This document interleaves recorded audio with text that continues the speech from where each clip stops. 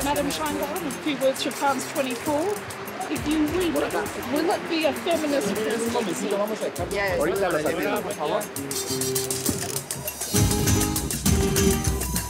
¿Qué se puede hacer contra los feminicidios? Cero impunidad.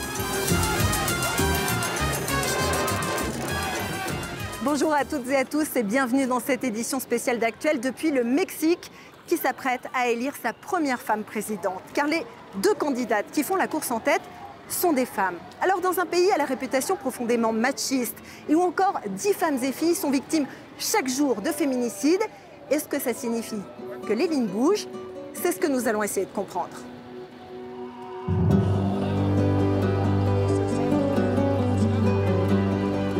Si les sondages sont exacts, cette femme est sur le point d'entrer dans l'histoire au Mexique.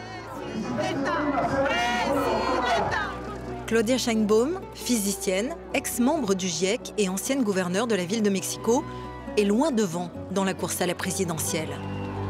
Ce jour-là, elle reçoit un accueil aussi chaleureux que bruyant de celles et ceux qui la soutiennent à Milpa Alta, un quartier du sud de la capitale.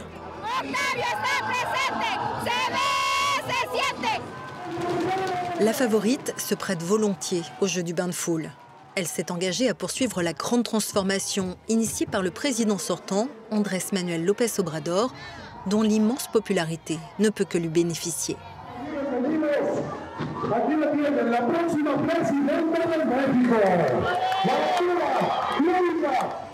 Mais elle aura fort à faire. Problèmes économiques, immigration, trafic de drogue, violence des cartels, des dossiers qui peuvent renvoyer les droits des femmes tout en bas de la pile. Elle assure pourtant qu'il n'en sera rien. Il est évident qu'il faut une politique pour continuer à élargir l'accès aux droits pour le peuple mexicain. Lorsqu'on donne accès à l'éducation, on soutient les femmes. Lorsqu'on donne accès à la santé et aussi à la santé reproductive, on soutient les femmes. Et dans le même temps, les droits des femmes restent inchangés. Donc il faut réduire l'inégalité salariale et permettre aux femmes de vivre sans violence.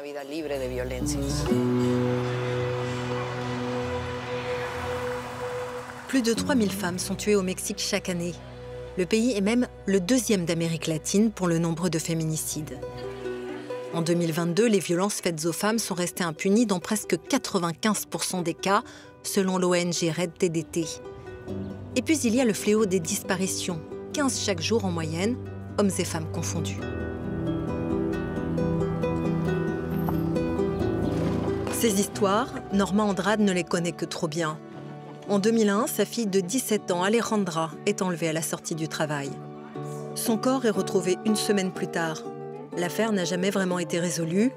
Alors aujourd'hui encore, Norma poursuit le combat, pour elle ou pour d'autres familles. Comme ici, dans le parc national d'Arusco, à l'ouest de Mexico, les volontaires y cherchent des indices ou des corps.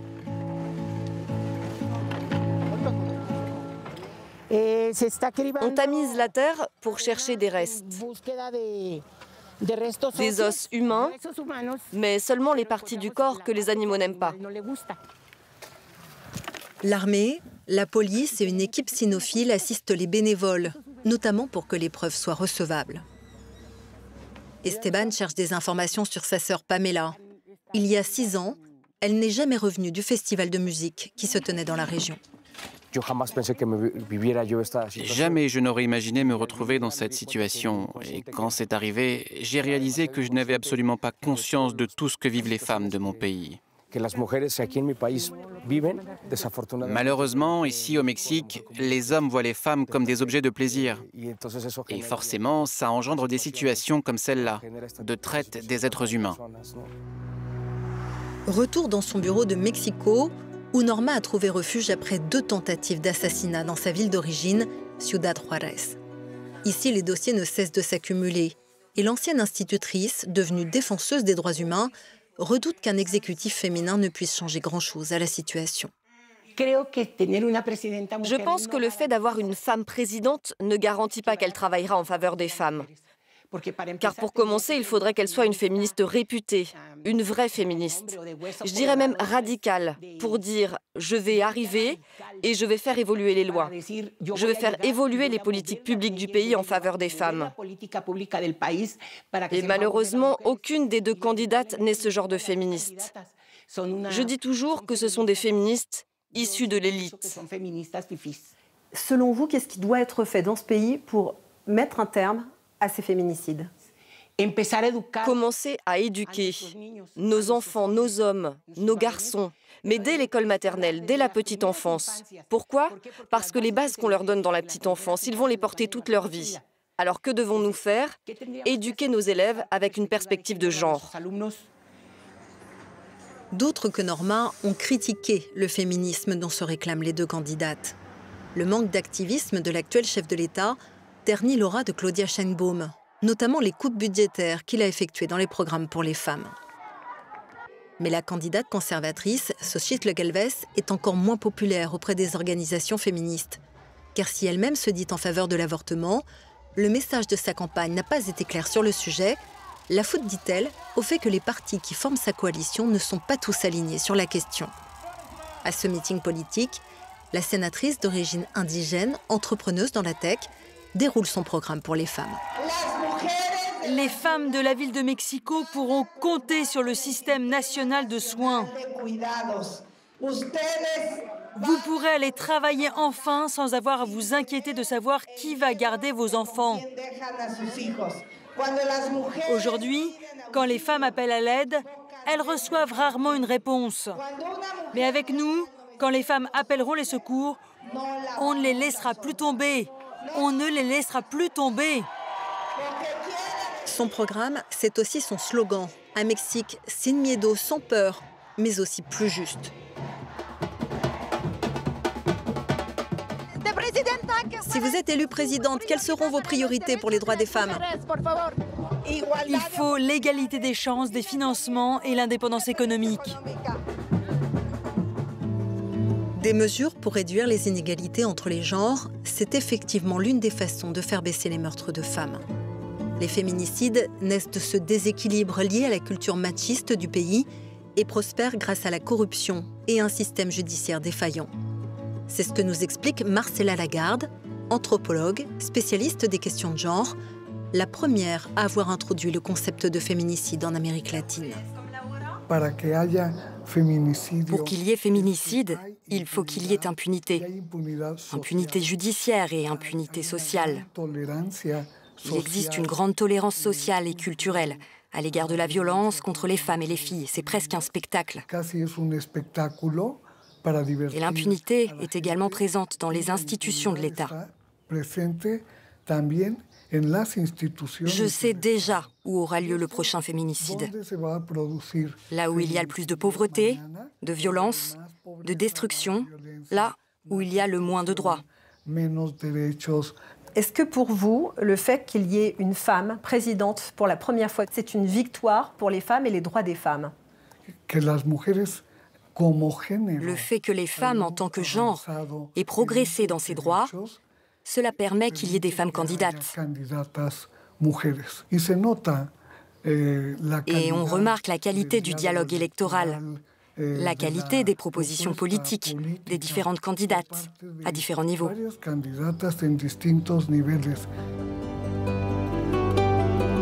Les droits électoraux des Mexicaines ont progressé, mais pas à la même vitesse partout. Antonia se rend à Ocotequila, son village d'origine, dans l'état du Guerrero. Journaliste et conseillère électorale, elle y organise une réunion d'information sur le droit de vote. Au niveau fédéral, les Mexicaines peuvent participer au scrutin depuis 1953. Mais il a fallu presque 70 ans de plus pour que les femmes de cette communauté indigène puissent prendre part aux élections locales.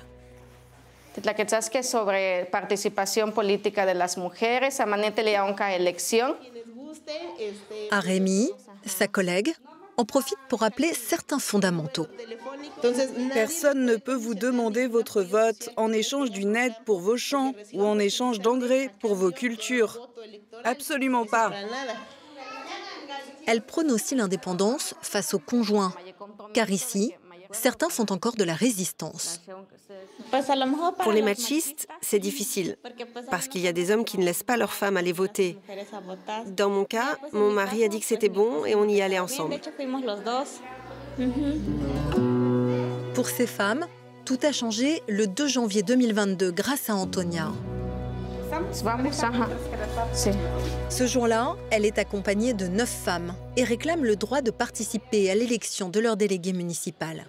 Comme les hommes s'y opposent, Antonia saisit un juge électoral qui leur donne raison et décide de la tenue d'un nouveau scrutin quelques semaines plus tard, un moment que ces femmes n'oublieront jamais. Elles m'ont dit qu'avant de mourir, elles voulaient voter pour élire le délégué municipal. Et l'une d'entre elles est ma maman. Elle m'a encouragée à participer à cette action et je l'ai soutenue parce que moi, je suis allée à l'école et j'ai fait en sorte que ma maman puisse voter pour la première fois de sa vie dans la communauté.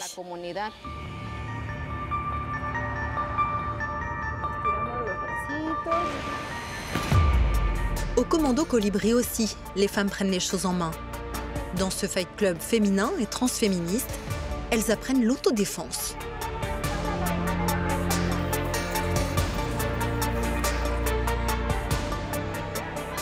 Je suis venue parce qu'à l'âge de 16 ans, j'ai subi des violences de la part de mon copain. Depuis que je viens, je me sens beaucoup plus en sécurité dans la rue.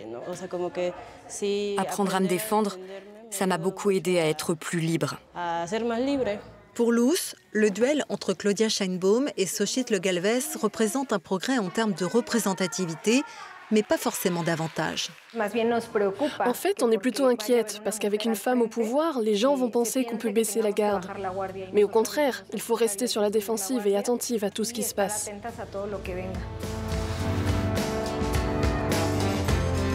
L'arrivée d'une femme au sommet de l'État marquera un tournant majeur mais cette future présidente mexicaine devra se battre pour renverser les stéréotypes de genre et pouvoir réellement améliorer les droits des femmes.